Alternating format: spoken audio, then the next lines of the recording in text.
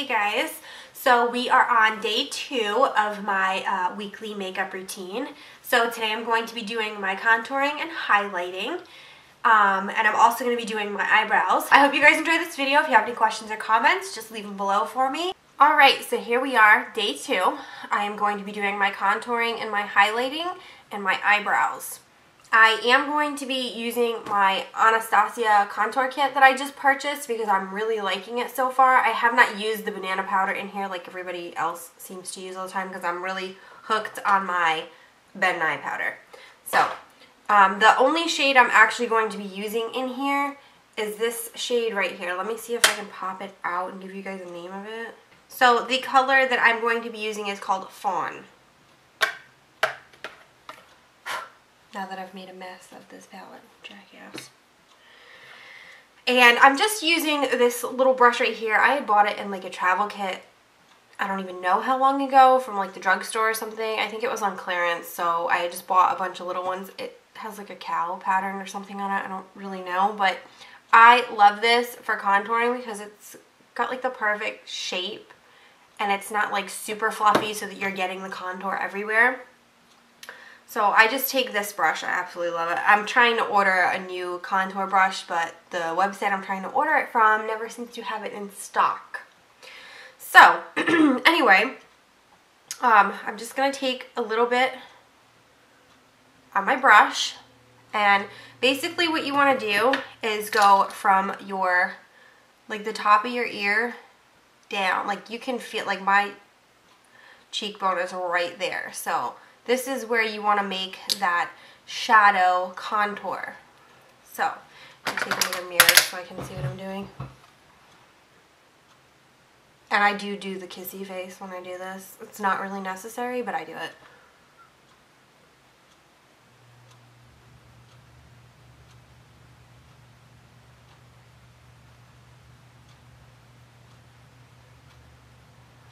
You see that right there? We just created that shadow is to kind of make your face look a little bit slimmer, creating that fake shadow. And during the week, I don't go like hardcore crazy with it. This is actually extremely light. So let's do the next side.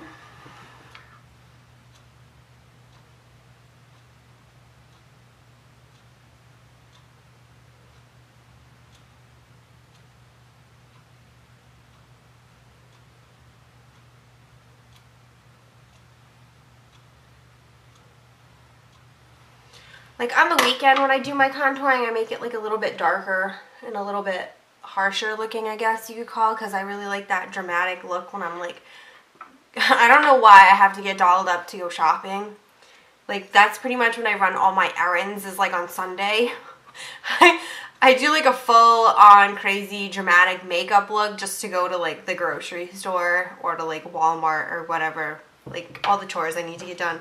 Have a full face makeup on.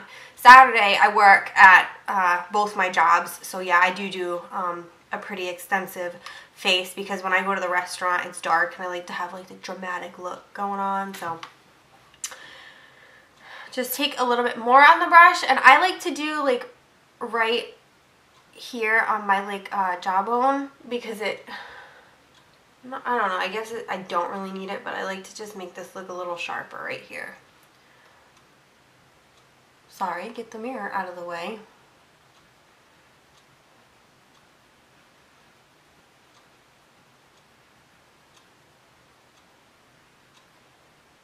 See how it just like creates that little shadow there?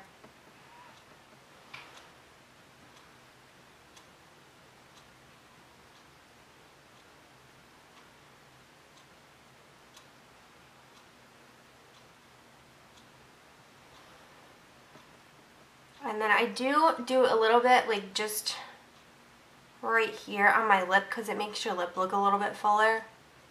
So I just... Mm.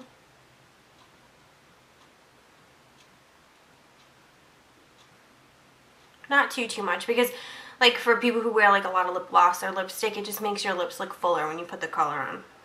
I haven't really been wearing lipstick or lip gloss. It's mostly been a chapstick because my lips are so chappy. And then just take a little bit more And what I do is I just pull my hair back a little bit and I go right in here and drag it up.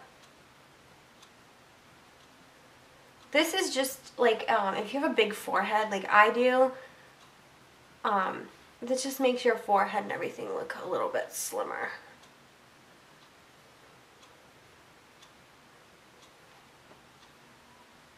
Other side.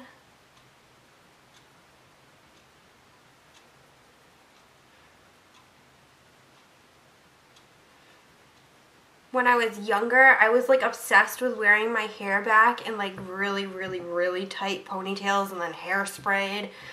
I don't know, that was like the thing for me. I always had a ponytail. I think up until like seventh grade, it was always in a ponytail. But, um, pretty ridiculous. But my teacher actually told me because she wanted me to wear my hair down one day for like, I think it was for like a school picture or something. She's like, why don't you take your hair down? And I told her I really couldn't because it was slicked back. And she goes, you're not, you're going to have a, a, big forehead when you get older. And I was like, what? I didn't understand what she was trying to say to me. Like she was scaring me. She was pissing me off, scaring me. And I was in like fifth grade when she told me this. She's like, because you're pulling your hair back so much, you're going to get a really big forehead. And I was like, I never really thought about it. And I think when I was in seventh grade when I realized like, oh my God, my forehead is kind of big. So I started doing different hairstyles, but yeah. um, so I do contour my nose just a little bit. So I have, uh, this is actually like an e.l.f. crease blender or something. I don't really know which. I got it. I, I know it's an e.l.f. brush because it says e.l.f. on it. I can't really read the writing because it's so old. It's kind of wearing off. But I think it's like a blending crease brush. So I just take a little amount on my brush, that same fawn color, and just draw like on the side of my nose. This light that I'm using is probably washing it right out. I cannot wait for my filming lights to get in because this is... I bought one of those daylight bulbs and I hate it.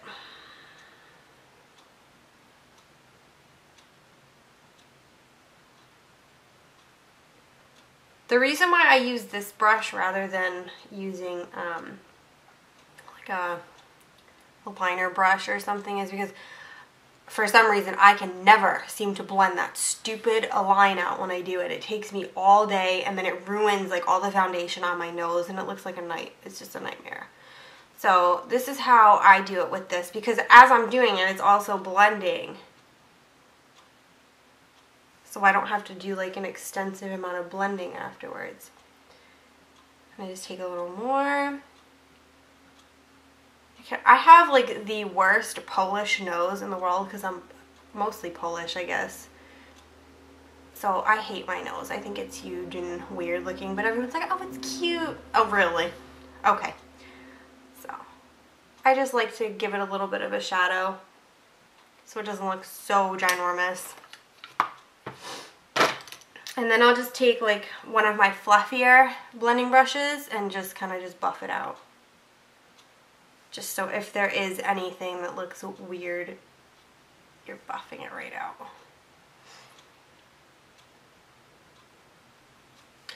And sometimes like if I think it looks too dark, I'll just take that brush I used yesterday for my Ben Nye powder and I'll just run it down the center to give it a little bit of a highlight. So that is the contouring part of this video. Um, highlighting I usually do after like all my makeup is set, but I am going to do it right now so you guys can see. I use a fan brush.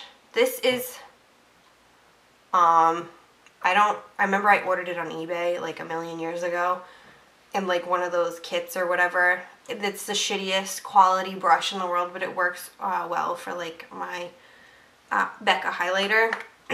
I know everybody on YouTube seems to have like the Becca Opal highlighter, but I have the Becca, what is this Moonstone. It's more of like a, a silvery white. So I just take and rub my fan brush and then right on the cheekbone, back. See the little highlight it gives? So when the sun catches it, it's nice and shimmery.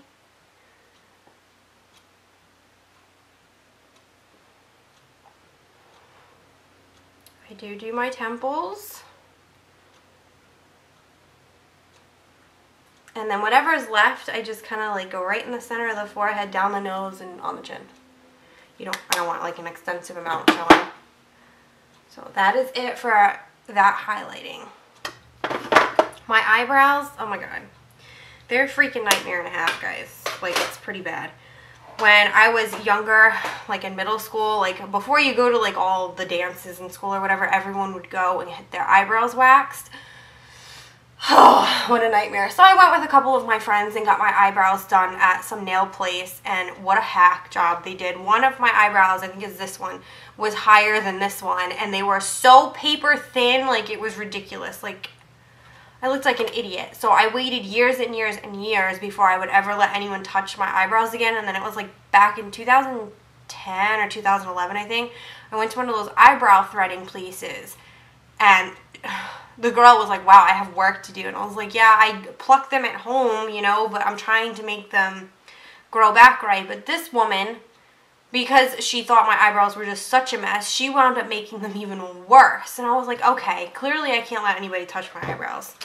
So, what I use at the moment, I'm actually going to be mixing it up again, but at the moment, I use um, the Avon Dark Brown uh, Brow Pencil and the Avon Blonde one. This is just, they don't sell this one anymore with the nice spoolie on the end, but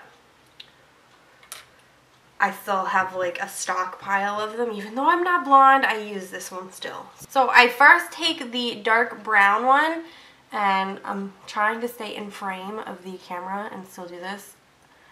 And I don't go from the inner out. I go from about like right here and just start drawing that baseline and the shape that you want it.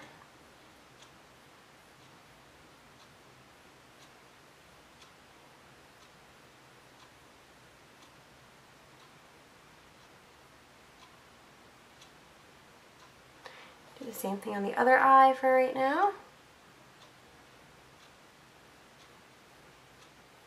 I've heard really good things about like using um what the heck are they called?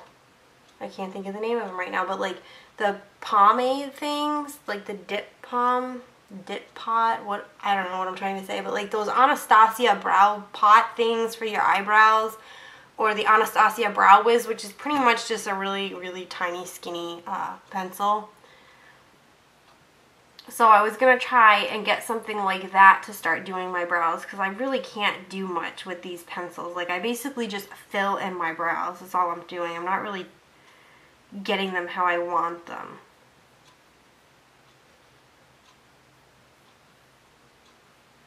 Up top.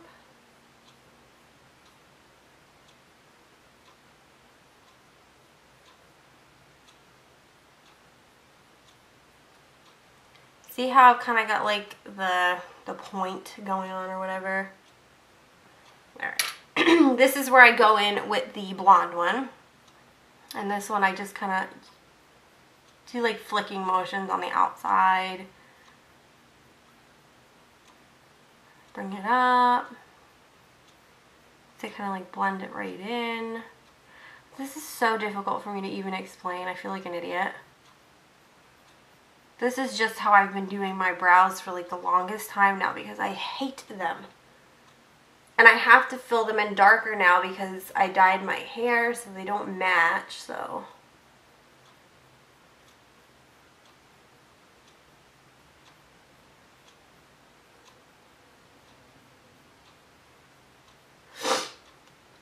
Yes, I still have the sniffles. Alright. And then what I do is I just take either the spoolie on the back of the blonde pencil or I have, where the heck is it? Here it is. My Avon one. The Avon spoolie brush. What do you call it? Brow brush. And I just pretty much wiggle and flick up. This really just blends it all together and gets rid of any excess so that they're like, you know, it doesn't look cakey and fake brows. I've actually been asked if I had fake eyebrows and I was like, no, you can actually pull on my little hairs if you'd like.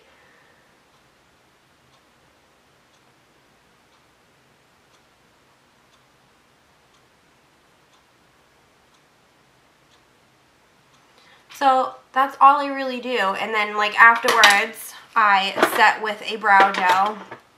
I'm still currently using this one here that used to be clear, which is the Salon Perfect Brow Sculpting Gel.